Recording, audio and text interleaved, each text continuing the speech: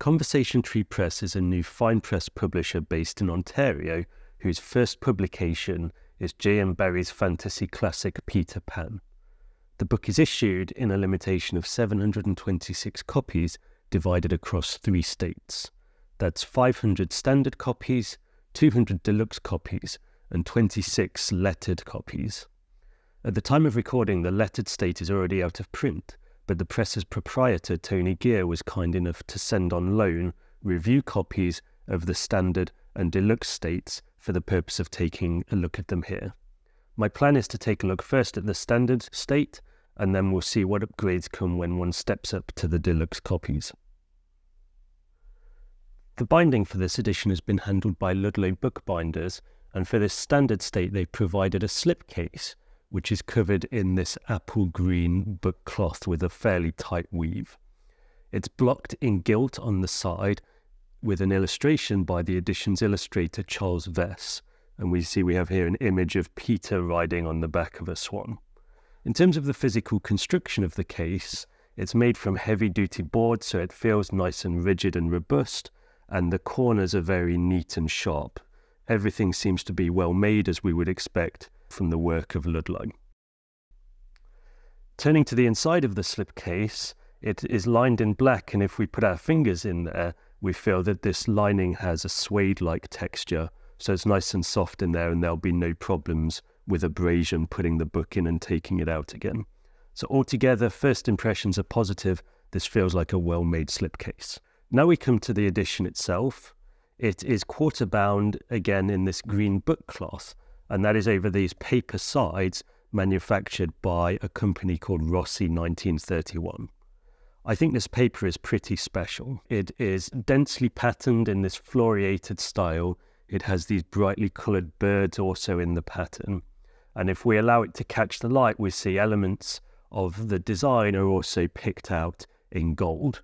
It's really quite striking. It looks to me a little bit like a firework going off, and I think it's fitting for a book so vibrant as one about Neverland. The rest of the binding is, in a sense, a bit more conventional. So we have, as I said, this green book cloth. Flipping over to the spine, we see that we have it blocked in gilt the title, the author's name, and the illustrator's name. And then down here, the press mark of Conversation Tree Press has been blind stamped. Finishing up this exterior presentation, we can see that we're going to have a ribbon marker. It's a green ribbon marker. And we have striped end bands in green and yellow. And all three edges of the text block have been trimmed. I should say that just like the slipcase, the boards that have been used in the book itself again feel very uh, heavy duty and rigid. And so the book feels solid. It feels well made in the hand. Now we open the book onto end papers, which are a fairly plain by comparison black on white, but they've been illustrated again by Charles Vess with these hand drawn maps. And the end papers at the front and the back of the edition are different. So here at the front, we have a map of Kensington Gardens. And if we flip over to the end of the book, we have a map of Neverland. Then we press on to the title page. Again, this has been hand drawn by Charles Vess. Um, we have the title of the edition. We see Conversation Tree Press 2023. This standard state is printed on Munken Pure rough ivory paper. Despite the name, this is a relatively smooth paper. It feels like a thoroughly modern fine press paper. It has pretty good opacity and a nice, slightly off white colouring. And here we have the contents page, and we see that this edition is going to contain, in fact, two separate tales. So the first of those is Peter Pan in Kensington Gardens. This is a short story which originated as a series of chapters in a longer work, and they marked Peter Pan's first appearance in literature. And then we have a longer work, uh, a novel in its own right, Peter and Wendy, which is an adaptation of J.M. Barrie's stage version of Peter's Tale. And this is a more mature work which contains all of the elements that most viewers will associate with Peter Pan. The book contains an introduction by scholar Maria Tatar. It gives a bit of an overview into the book's place in culture, but also a bit about the book's genesis and also picks out some of the major themes of the stories.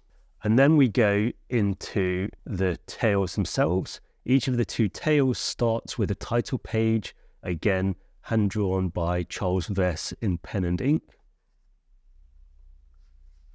Here we get our first look at the general typographic design of the edition. Every chapter opens with a pen and ink illustration by Charles Vess. There are 23 chapters, so if we include the title page, the title page for each of the stories, and the illustrated map end papers, that means we have a total of 28 of these pen and ink illustrations throughout the edition, and that's on top of the nine colour plates that we'll get to in a moment. So it's quite a richly illustrated book by fine press standards. As far as the text is concerned, the main text is set in a face called Austin, and the entire edition across all three states has been printed letterpress by Nomad Letterpress. And so regular viewers of this channel will know to expect, therefore, that the quality of reproduction is quite superb. Now we'll flip through. Along the way, we'll doubtless see some more of these pen and ink illustrations, but I also want to show you the other type of illustration in the edition, which are these colour plates that again have been provided by Charles Vess. Vess says that one of his influences was Arthur Rackham, that great illustrator of the 20th century, and I think you can see that influence in the style of the illustrations. So we have this very clear, clean contour, the delicate coloration, but Vess also has his own style, which gives the images, I think, a bit more of a modern edge. And in any case, that influence makes him superbly suited to illustrate a work such as Peter Pan, um, which is a work of fantasy, and one can very much see why he made a name for himself illustrating this type of work. In this standard state, the images are printed with a white border, and then we have a decorative border printed around the edge of the images. So I'll flip through and we'll have a chance to see a few more of those illustrations.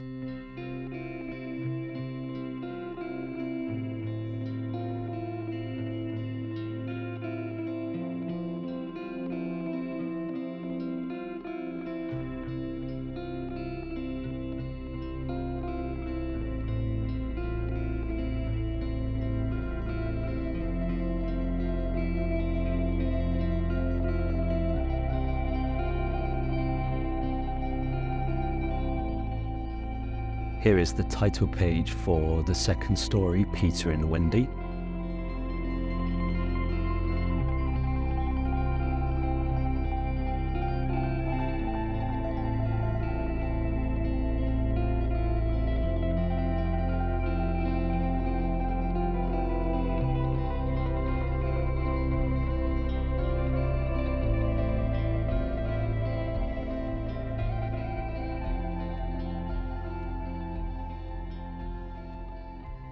As usual, the book ends with a colophon page. It's signed by illustrator Charles Vess, although these editions haven't been numbered. So that's the standard state. Now let's take a look at what upgrades we get when we go to the deluxe state. Putting the deluxe and standard states alongside each other, we right away see one difference is that the book cloth used on the standard state is a little bit lighter than the one used here over on the deluxe state. We also see different gilt designs blocked here on the sides of the slipcases. So here on the deluxe state, in fact, we have the title page from the first of the two stories, Peter Pan in Kensington Gardens. That makes more sense when we flip the deluxe state slipcase over and we see on the other side we also have the title page illustration from the other story, Peter and Wendy. Another difference is that the deluxe state slipcase has these rounded ends which means that it neatly covers the spine of the edition. And then, as a final difference, we still have that black suede like lining, but now it wraps slightly out and makes a very nice trim around the edge of the book. It feels a little bit luxurious when we put our hand there to slide the book out of the slipcase to have a little bit of this suede like material poking out. Otherwise, it's still a nice sharp case made from nice rigid board everything feels very solid. Of course, when we go to a deluxe state of an edition, one of the main upgrades we expect is a different binding material, and that's the case here. So now we have this full leather binding in this green leather, which has quite a nice grain to it, and it's blocked on the front board in gilt with that same illustration that we saw on the side of the standard state slipcase. So we don't miss out on that illustration if we take the deluxe state. The spine of this edition is hubbed. We have these five raised bands. It's blocked in gilt with this little vignette illustration, the title, author, and illustrator. The title set against this wine red background. It's a very classic, austere looking binding, and I know that will fit in well in the libraries of a lot of collectors. And just like before, we have the Conversation Tree press mark blind stamped there. I thought this was a nice touch because if you're going to have such a classic looking binding, you don't always want some corporate branding on the spine of your book, but here it's very subtle, nice and hidden away there. The top edge of the text block is gilded, and we now have end bands that are in red and also a red ribbon marker. Anybody who dabbles in art will know that red is the complementary colour of green, so that sits really quite nicely together with this green leather binding material. Just like the standard state, the book feels very solid. Of course, the leather makes it even more hard wearing, so it altogether feels like Ludlow have done a good job again with the binding of this state. One thing you might be a little bit worried about though, is that we lost that nice Rossi paper that was on the standard state. But fear not, because when we open this deluxe state, we get two sheets of it here on the end papers, and likewise, if we go to the rear of the book again, we get that nice Rossi 1931 paper on the end papers, so we don't miss out on that at all. What then becomes of the maps? Well, in this deluxe state, the maps have been bound in as folded sheets. And so here we have an example of one of those. We can fold it out, and there is the map of Peter Pan in Kensington Gardens. Notice that the map spans two pages, but it's been bound in as a trifold. That's really a minor detail, but I thought it was a nice touch. It makes it feel a little bit more like we're unfolding an actual map. And I think it's those little touches that can make a big difference. The substantive contents of the deluxe state are the same as those in the standard state, but the paper has been upgraded. So instead of that 120 GSM Munken paper, we now have 160 GSM Magnani paper. The paper also has a slightly rougher texture, which gives it a more tactile feel. And of course, by virtue of being heavier weight, it also has slightly better opacity. So in my mind, a definite upgrade on the paper front. One thing I didn't mention before is that there's a bit of a bite to the letterpress printing. So one can feel a bit of a texture to where the text is put on the page. And in this deluxe state, I think that's slightly more obvious, perhaps because the heavier paper is a little bit better able to take that bite.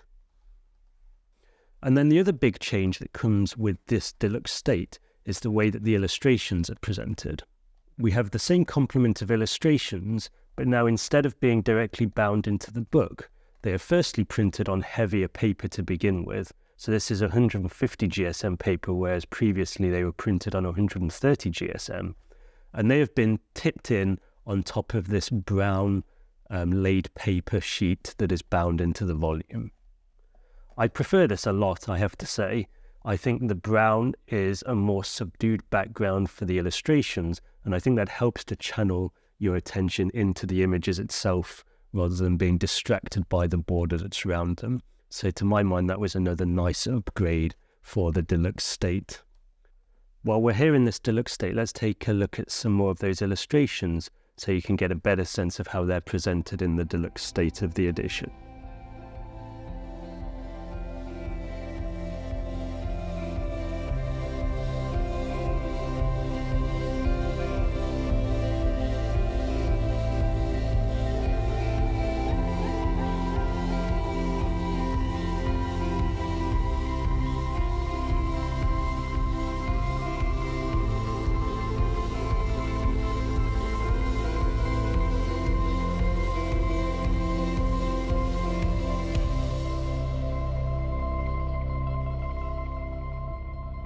And just as before, we have a colophon page which is signed by Charles Vess. So that is Peter Pan by J.M. Barrie, the maiden publication of the Conversation Tree Press. I really had a lot of fun with this edition. Ludlow and Nomad have both done great jobs, as one might expect, so these books feel very well made. But I also think there's a coherence of design vision from Conversation Tree Press itself. There are some bold elements like the paper used here in the covering, where the design is a little bit more traditional Everything gels together very nicely. And there are a lot of smart production decisions, I think, that have gone into the books. If we think about the two states individually, the standard state gives you all of the substantive content. So you get the letterpress printing, you get all of the illustrations, you get this nice striking design with that paper that I like so much.